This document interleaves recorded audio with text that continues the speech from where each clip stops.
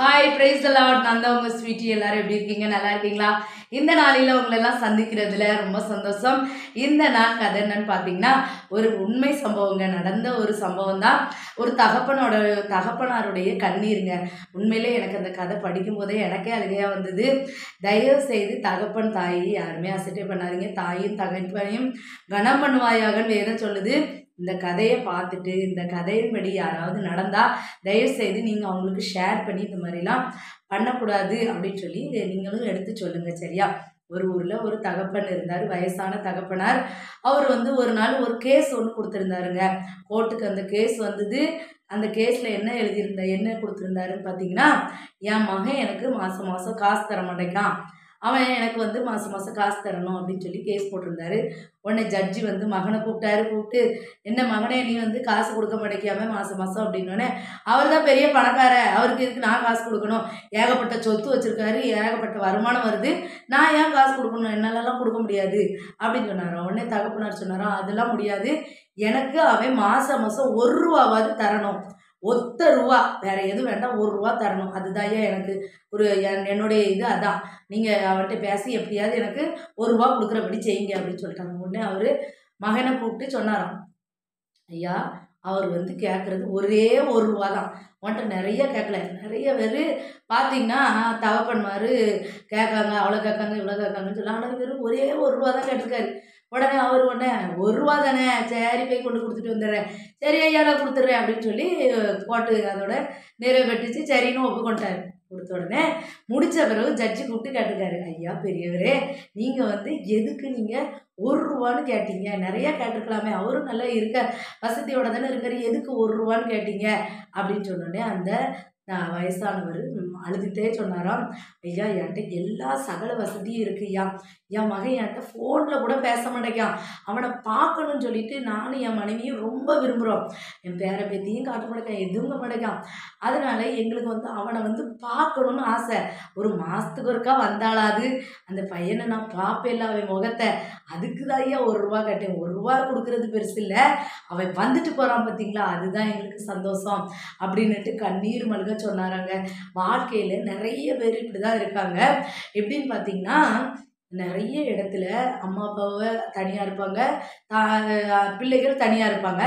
மாதம் ஆகணும் சிலவங்க காசு கொடுத்துருவாங்க எல்லாம் ஃபோன்லேயே கான்டாக்ட் பண்ணி பேசுகிறாங்க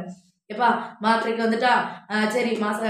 இந்த பில்லு வந்துட்டா மளிகை ஜாமனுக்கு வந்துட்டா எல்லாத்துக்கும் வந்துட்டா வாடகைக்கு வந்துட்டா எல்லாம் வந்துட்டா ஆ சரி ரைட் அவ்வளோதான் முடிஞ்சு போச்சு ஆனால் நீங்கள் ஒரு நாள் போய் உங்கள் தகப்பட்ட தாயிட்டையும் கேட்டு பாருங்கள் அவங்களுக்கு உண்மையிலே ஏக்கம் இருக்குங்க என் பிள்ளை ஒரு நாள் வந்து பார்க்க மாட்டாளா என் பேர பிள்ளையில வந்து காட்ட மாட்டாளா அப்படின்னு சொல்லி ஏக்கம் இருக்கும் அதனால் தயவுசெய்து ஒரு மாதத்துக்கு ஒருக்காவது போய் பாருங்கள் பேர பிள்ளைகளை காமிங்க நிறையா தாத்தா பாட்டி ஏங்குறது அப்படிதான் பேர பிள்ளைகளை காமிக்க மாட்டேங்கிறாங்க அப்படின்னு சொல்லி அப்பப்போ பேசணுங்க ஃபோன் பேசுங்க டெய்லி பேசுங்க அம்மா என்ன பண்ணுறீங்க சாப்பிட்டீங்களா நேரத்துக்கு நேரம் சாப்பிட்டீங்களா அம்மா எப்படி இருக்காங்க அப்பா எப்படி இருக்காங்க அப்படி கேளுங்க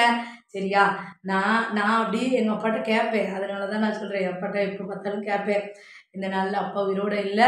இருந்தாலும் அந்த கதை போது எங்கள் அப்பா ஞாபகம் வந்ததுங்க அதனால தான் நான் உங்களுக்கு சொல்கிறேன் அது மட்டும் இல்லாமல் நிறைய வீட்டில் நான் பார்க்க போனால் தாயாக இருந்தாலும் சரி இல்லை மாமியாராக இருந்தாலும் சரி என்ன நடத்துகிறாங்கன்னா ஸ்கூலுக்கு போயிட்டு வராங்களா பிள்ளைகள் ஒரு அஞ்சாப்பு வர படிக்கிற பிள்ளைகள் அஞ்சாப்போ அரப்பி அளப்பு அப்படி பிள்ளைகள் நினச்சிக்கோங்க அந்த பிள்ளைகள் பேக் தூக்குறதுக்கு அந்த தாய்மார்களை அனுப்புகிறாங்க பாட்டியா இருக்கட்டும் இல்லை மாமியாரா இருக்கட்டும் போங்க போய் பிள்ளைகளை கூட்டுவாங்க போங்க எங்கள் வீட்டில் இருந்து என்ன பண்ணுங்க இவங்க வந்து செல்ஃபோனில் கேம் பார்த்துட்டு இருப்பாங்க இல்லை யூடியூப் பார்த்துட்டு இருப்பாங்க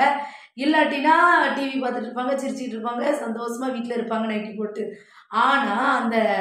வயசானவங்கள பெய் அனுப்பிடுவாங்க அந்த பாட்டியம்மா அந்த பேகை தூக்க முடியாமல் அந்த பிள்ளை ரோட்டில் அழகாக தூக்கிட்டு வர முடியும் ஆனாலும் இந்தாங்க பிடிங்க பாட்டி அப்படின்னு சொல்லிட்டு கொடுத்துருவோம் நிறைய வீட்டில் நான் பார்த்துருக்கேன் அந்த மாதிரி தயவு செய்து இருக்காங்க இருக்காதீங்க ஏன்னா அவங்க சின்ன வயசில் அவங்கள எப்படிலாம் வளர்த்துருப்பாங்க உங்கள் தாயாக இருந்தாலும் சரி மாமியாராக இருந்தாலும் சரி உங்கள் கணவரை எப்படி வளர்த்துருப்பாங்க ஒரு சின்ன உடம்பு சரியில்லைனாலும் எப்படி பார்த்துருப்பாங்க ஆனால் இந்த நாளில் உடம்பு சரியில்லாமல் யாருக்காவது வந்தால் ஐயோ இந்த கலடி எப்போ தான் சாவமோ தெரில இதுக்கு எப்போ தான் ஜீவம் போமோ நான் என்ன என் காசெல்லாம் சம்பாதிச்சு சம்பாதிச்சு அந்த செல இதுக்கு தான் கொடுக்க வேண்டியிருக்கு நோய்க்கு தான் கொடுக்க வேண்டியிருக்கு அப்படின்னு சொல்லி ரொம்ப ஒதுக்குறாங்க தாய் தாய் தகப்பன்மார வயதானவர்கள் அப்படி தயவு செய்து பண்ணாதீங்க அவங்க உங்களுக்கு சின்ன வயசில் எப்படி பார்த்து பாராமல் எவ்வளோ பண்ணியிருப்பாங்க அதை கொஞ்சம் நினச்சி பாருங்கள் பிற்காலத்தில் நம்மளுக்கும் இதே நிலமை தான் வரும் அதனால் யாரும் அப்படி பண்ணாதீங்க வேத வசனம் சொல்லுது தகப்பனையும் தாயையும் கணம் பண்ணுவாயங்கன்னு நீ எந்த அளவுனாலும் அழகப்படியோ அந்த அளவு தான் உனக்கு அளக்கப்படும்னு சொல்லுது அதே மாதிரி நீதிமொழிகள் இருபத்தி மூணாம் அதிகாரம் இருபத்தி ரெண்டாம் வசனம் உன்னை பெற்ற தகப்பனுக்கு செவி கொடு உன் தாய் வயது சென்றவள் ஆகும்போது அவளே அசட்டை பண்ணாதே ஆமாங்க வயது சென்றவங்க அசட்டை பண்ணாதீங்க அவங்க ஏதாவது சொல்லிட்டாங்கன்னா அது நம்மளால் தாங்க முடியாது அப்புறம் நீங்கள் திருப்பி திட்டுவீங்க நிறைய வீட்டில் பார்த்தீங்கன்னா ஒரு மாமியார் மாமனார் அப்படி இருந்தால் மாமியாரையும் மாமனாரையும் பிரித்து வச்சுருந்தாங்க ஒரு ஒரு வீட்டில் அம்மா இருப்பாங்க ஒரு வீட்டில் அப்பா இருப்பாங்க அது பெரிய தப்பு இந்த வயதான காலத்தில் அவங்க சேர்ந்து வாழணும்னு எவ்வளோ ஆசைப்பட்டிருப்பாங்க எவ்வளோ இருப்பாங்க ஆனால் அவங்களுடைய நிலமை எல்லாம் தயவு செய்து இருக்காதீங்க அம்மா அப்பாவை நேசிங்க மாமியார் மாமனாரை நேசிங்க அதுதான் நம்மளுக்கு ஆசீர்வாதம் ஓகே பாய்